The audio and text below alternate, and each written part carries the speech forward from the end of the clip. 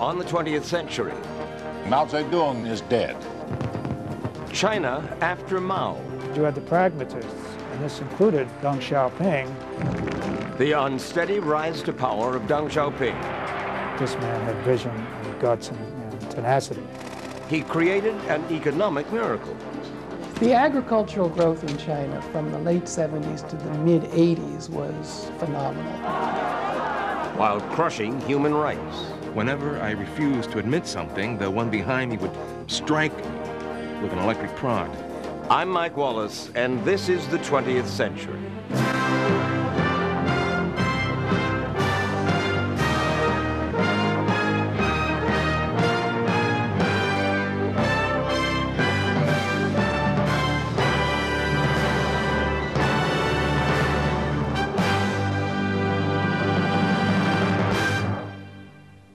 For more than 25 years, Mao Zedong had ruled China with an iron fist and a little red book of revolutionary quotations.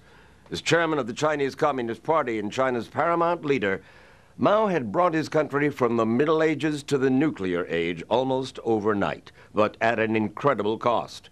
Millions of Chinese died in the late 50s and early 60s because of Mao's disastrous economic policy called the Great Leap Forward. Hundreds of thousands more were disgraced and hounded to death by his fanatical Red Guards during the years of the Cultural Revolution in the 1960s. But by 1976, Chairman Mao was 82 and in failing health. It was a year, too, of natural disasters in China. For the second time in 16 hours, a strong earthquake has hit the People's Republic of China. This one was centered near Tangshan, an industrial city about 90 miles southeast of Peking. And as often in Chinese history, a natural disaster signaled that the gods above were making major changes down below in China. The change occurred on September 9th, 1976. Mao Zedong, the man who for 27 years ruled more than a fifth of the world's population, is dead. The 82-year-old chairman of the Chinese Communist Party died today at 10 minutes after midnight Peking time. Mao was the second major Chinese leader to die in 1976. In January, the urbane premier Zhou Enlai had passed away. Unlike Mao, Zhou had been educated in Paris. While a dedicated communist revolutionary, Zhou nonetheless was believed to favor a more pragmatic course than Mao Zedong. You can see Zhou Enlai as the man, I think, who really engineered the first steps of China's transformation or change from the hardcore Maoism that culminated in the Great Cultural Revolution to the period of adaptation that we've seen over the last 15 to 20 years. His deputy was 71-year-old Deng Xiaoping. He's regarded as an efficient bureaucrat, a member of the old guard, a pragmatist with administrative abilities. And after Mao's death, a member of one of the factions fighting to succeed the chairman. On the one hand, you had the radicals, the leftists, who didn't particularly like the opening to the U.S., who wanted to follow strictly Marxist economic policies and very fierce political repression. These were led by Chairman Mao's own wife, Madame Mao, and some other revolutionaries, essentially from Shanghai. On the other side, you had the pragmatists, and this included Deng Xiaoping, who actually went up and down in terms of his fortunes. In fact, that had been Deng's lot throughout much of his career in the Communist Party. Born into a family of affluent landlords in 1904, he was recruited into the Communist Party by Zhou Enlai as a young student worker in France, where he acquired a taste for croissants and the game of bridge. Returning to China, Deng rose quickly in inner party circles. He was uh, one of the leaders of the communist revolution from the 1920s onward. He was a political commissar with the revolutionary troops. But after the communists came to power in China in 1949, Deng moved to Beijing pretty early on, early 1950s, and became one of Mao's top lieutenants. So he was one of the right arms of Mao. Nonetheless, Deng looked to Zhou Enlai as a kind of ideological mentor. Zhou Enlai was in favor of more pragmatism, a little less extreme Marxist ideology, uh, would have been more comfortable, although he didn't push this, to move somewhat toward more capitalistic uh, economic system, and certainly Deng was in that camp. Those views got Deng into trouble with the radicals during the Cultural Revolution of the late 1960s. Ousted from power, Deng was forced to do menial labor, as I found out in the only one-on-one -on -one television interview Deng ever granted a Western journalist. What happened to you and to your family during the Cultural Revolution? Chairman Mao often says that a bad thing can be turned into a good thing. The key is that we must be good at summing up the experience and come up with measures of reform, both political and economic. So it was good for you to sweep floors and serve meals and split firewood and be paraded in a dunce cap. Of course, it cannot be described as good things entirely, but the result is bad things have been turned into good things.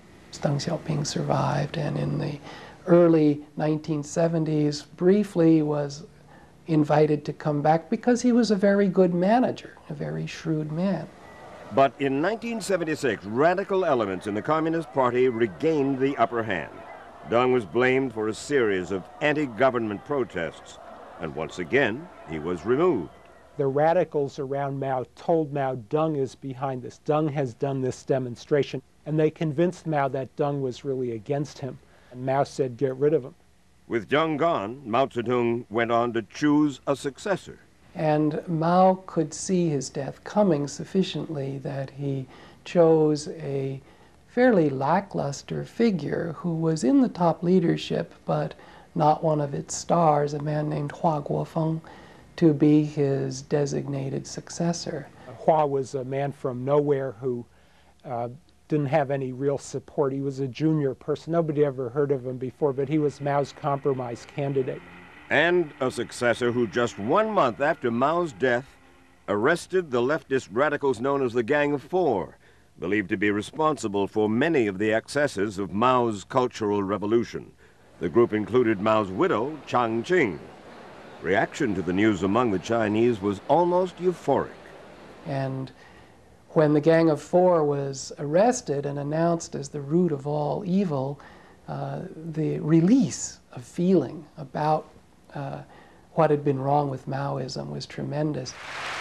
More than a million people turned out for Hua's first public appearance. He stood on the balcony of the Gate of Heavenly Peace, where only one other man, Mao Zedong, had ever stood before as chairman of the Chinese Communist Party.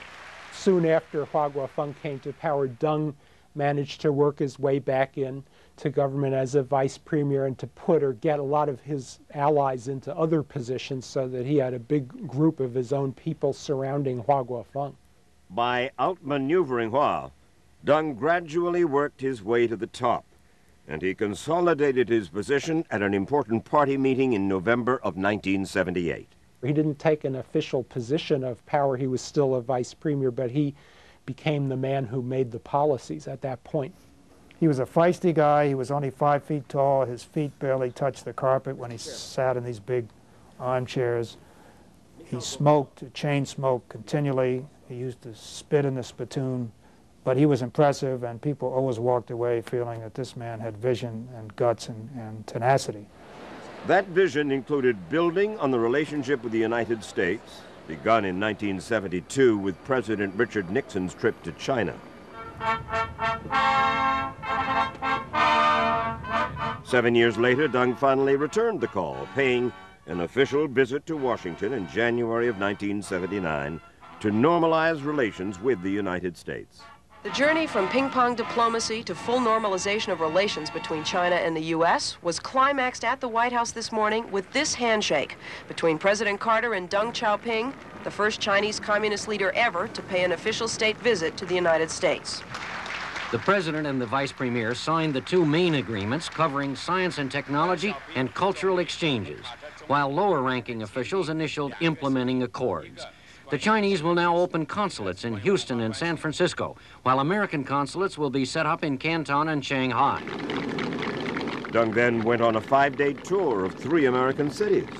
He had enough instinct for public relations to realize he's to try to put a human touch on the communist leaders.